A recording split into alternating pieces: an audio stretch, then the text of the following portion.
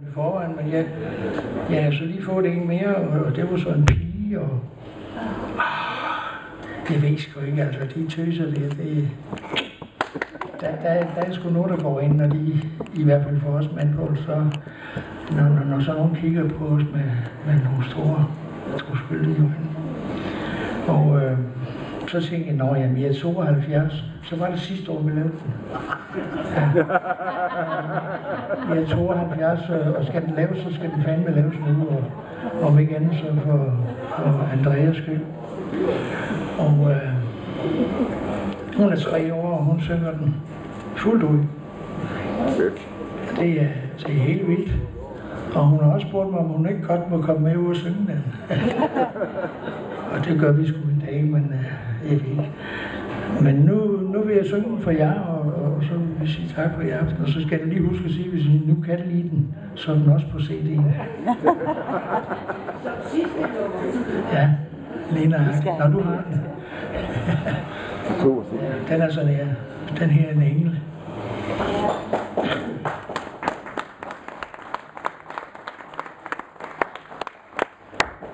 Der